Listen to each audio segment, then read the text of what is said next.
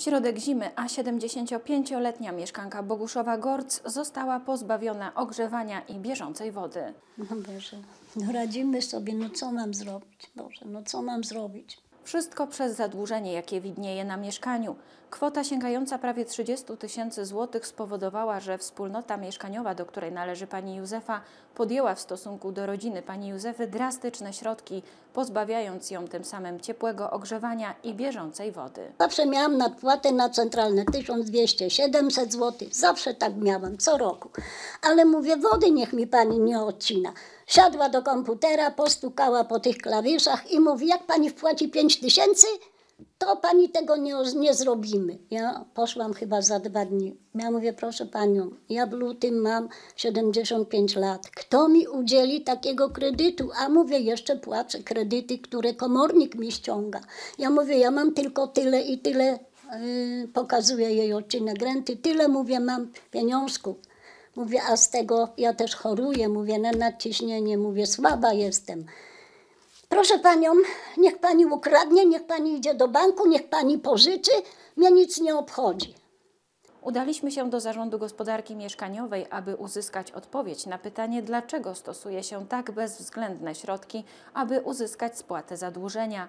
Tam dowiedzieliśmy się, że to powszechnie stosowane procedury, w których nie ma nic dziwnego. Bo tak, tak, tak to się odbywa, jeżeli rachunki do wodociągów jest- są niepłacone, wodociągi po prostu odcinają e, wodomierz główny, prawda? I nie ma szans, żeby cała wspólnota płaciła. Ja bym chciał tutaj zwrócić uwagę na jedną rzecz, że tam nie mieszka e, pani Pierzchowa sama. Mieszkają również e, młodzi ludzie z nią, dorośli młodzi ludzie.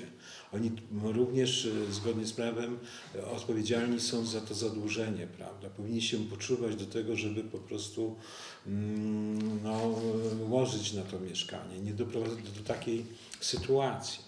To, co ja wiem, to dodatkowo jeszcze mm, e, sąsiedzi mają pretensje o e, jakieś inne historie związane z tym, że gdzieś tam ktoś musiał policję wzywać i tak dalej, i tak dalej. Także to nie jest mm, tak, e, że jest to spokojna osoba, której się coś tam wydarzyło, prawda, i której no, mm, trzeba pomóc, bo od tej pomocy są instytucje na terenie gminy. Dziwi jednak fakt, że odcięcie nastąpiło miesiąc po tym, jak pani Józefa z niewielkich dochodów sięgających 1300 zł na czteroosobową rodzinę zaczęła opłacać bieżący czynsz, w tym zaliczkę za wodę, której obecnie nie ma. Pomimo niskich dochodów lokatorka wyszła z inicjatywą także spłaty zadłużenia w ratach po 100 zł miesięcznie, jednak spotkała się z odmową wspólnoty.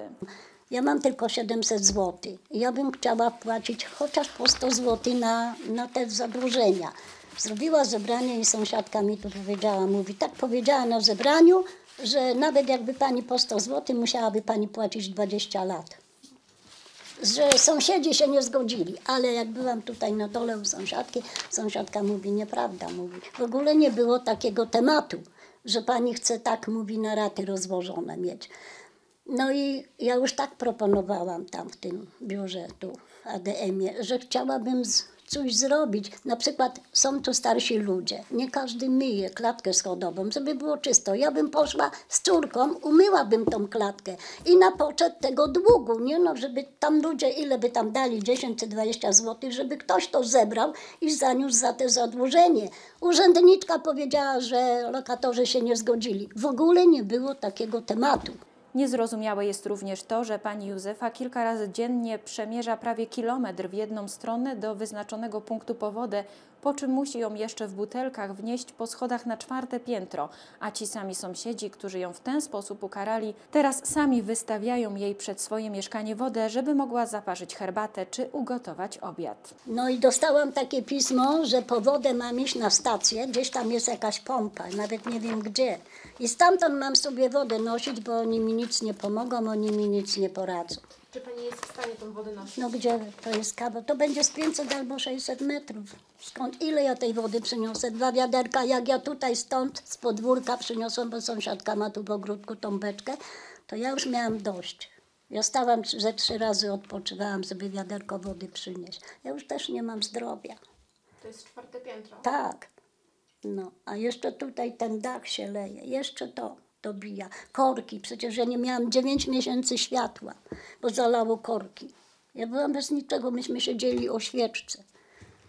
No i nikt się tym nie zajmuje, nikt się tym nie martwi. Jedyna pomoc z gminy, na jaką obecnie może liczyć mieszkanka Boguszowa Gorc, to dodatek mieszkaniowy, który otrzymuje od trzech miesięcy na pokrycie połowy czynszu. Gmina zna sytuację mm, rodziny, również zna sytuację całej wspólnoty mieszkaniowej, bo trzeba rozpatrywać w kontekście wszystkich osób, które zamieszkują tą wspólnotę mieszkaniową.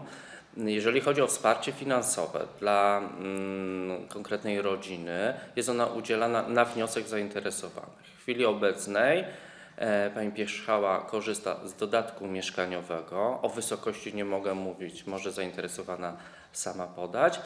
Również e, wydawane są bezpłatne e, posiłki dla nieletniej e, mieszkanki tego mieszkania, która uczęszcza do szkoły podstawowej w Boguszowie. Pozostałe świadczenia są udzielane na wniosek zainteresowanych. W chwili obecnej, tak jak powiedziałam, to jest dodatek mieszkaniowy i bezpłatne posiłki. Z prośbą o pomoc pani Pierzchała udała się do biura porad prawnych znajdującego się nieopodal ratusza.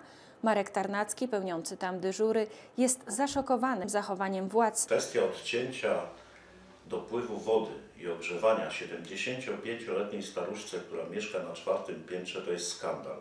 To jest temat, którego e, Urząd Miasta i Zakład Gospodarki Komunalnej nie jest w stanie obronić. To jest taka eksterminacja człowieka, to jest działanie na wyniszczenie. Tam z tą panią mieszka niepełnosprawna osoba i małe dzieci. Ja uważam, że nie zostały, ta, ci Państwo nie zostali należycie potraktowani. Nie podjęto działań takich, żeby porozumieć się w sprawie spłaty zadłużenia i w tej chwili, mimo tego, że y, podjęta została uchwała wspólnoty, to ja uważam, że Pan Prezes, jako rozsądny człowiek, powinien sobie zdawać sprawę z tego, co robi. Dlatego, że ja myślę, że kiedyś pan prezes też będzie miał 75 lat i nie życzę, nie życzę mu, żeby znalazł się w takiej sytuacji. To, że, że 75-letnia staruszka pełni opiekę nad swoją rodziną i dzisiaj nie ma środków na utrzymanie i nie ma środków na to, żeby spłacić zadłużenie, nie oznacza wcale, że należy podjąć takie działania, żeby, nie wiem, no żeby ona nie wytrzymała na tym mrozie, czy powiedzmy niosąc tą wodę na czwarte piętro, żeby spadła i żeby jej się coś stało. Tragedia po prostu. Panie prezesie, panie burmistrzu miasta, który wiesz o tym, pamiętaj, że kiedyś będziesz miał 75 lat. Czy odcięcie wody było zgodne z prawem? Zdecyduje prokuratura, bo pani Józefa złożyła już odpowiednie pismo. Jednak do czasu rozstrzygnięcia tej sprawy będzie musiała liczyć na pomoc innych, bo sama nie jest w tej chwili w stanie spłacić nawet części zadłużenia. Niewykluczone, że wspólnota będzie chciała odzyskać swoje należności na drodze sądowej. Jeżeli pani Józefa z powrotem będzie zalegać z bieżącymi opłatami, musi liczyć się z tym, że jej mieszkanie może zostać zlicytowane.